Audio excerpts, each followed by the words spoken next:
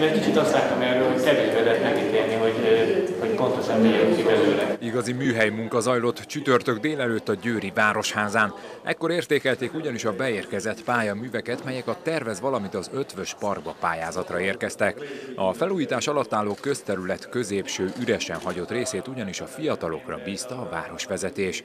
23 terv érkezett a felhívásra, a legtöbben precízen részletekbe menően papírra vetették, mások videós formában vagy épp egy makett segítségével kalauzolták el a zsűrit a jövő ötvös parkjába.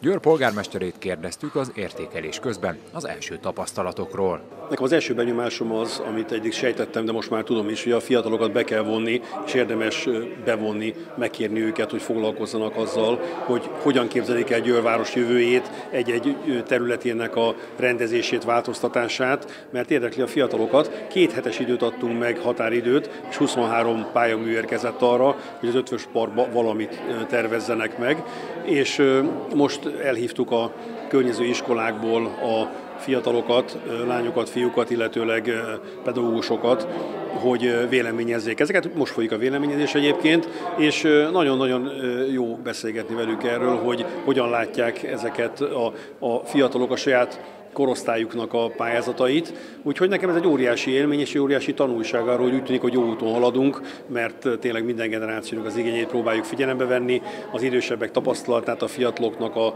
fiatalosabb, kicsit merészebb látásmódját ötvözni. Iradónk stábja a zsűriző fiatalokat is megkérdezte, hogyan látják kortársaik elképzeléseit, mennyire vág egybe az övékkel. Az is kiderült, mik a legfontosabb kellékei egy középiskolások által megálmodott parknak. Jó pár olyan terv van szerintem, ami nagyon hasznos lehet a térnek, illetve nekünk iskolásoknak is, hogy iskola, illetve tanítási szünetekben is találkozunk egymással. Volt pár ötlet, amit elvetettünk, nem töltötte ki annyira a teret, illetve egyéb jobb, hasznosabb funkciójú dolgokat lehetne a helyükre. Szerintem nagyon fontos az, hogy amire a mobil eszközeinket nagyon sokat használjuk, fontos az, hogy ennek a töltését biztosíthassuk, fontos a fedett rész, mert a parkban elég sok az árnyékos rész, de a fedett rész, így az időjárás ellen kell valami. És ezért fontos szerintem a fedett rész is. És az ülő alkalmatosság minél kényelmesebben esetleg a szünetekbe, vagy a tanítás után, amíg a busz vagy a vonat nem jön, addig ott tudjunk lenni.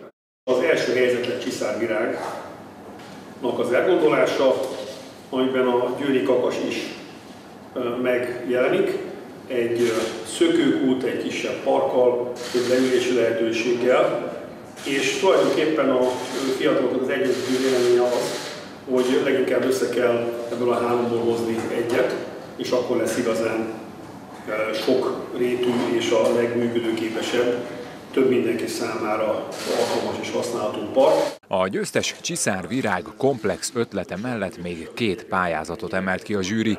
Nánai Zsombor, Rihárd és Kalácska Maja ötletei is nagyon tetszettek a fiataloknak. Ezekből szeretnének néhány elemet ötvözni a díjnyertes pályaművel.